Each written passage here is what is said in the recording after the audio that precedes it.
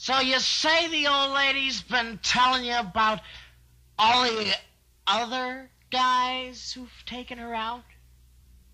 Some of whom come under the category of VIPs?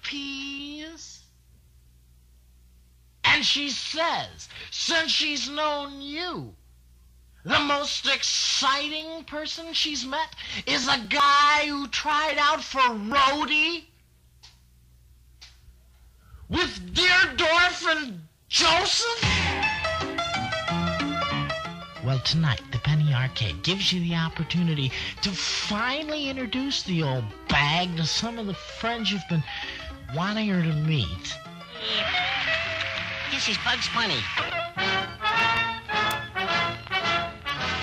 Hello, America. This is Daffy Duck. Yeah, the- yeah, this is Porky Pig. If you're gonna put it, put your dough in.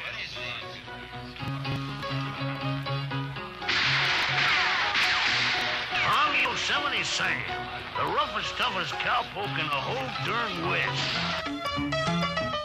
And if that's not enough to keep her quiet, then stuff her full of Heinekens. Because it's only 75 cents. And she won't be able to con you into taking her out to dinner either.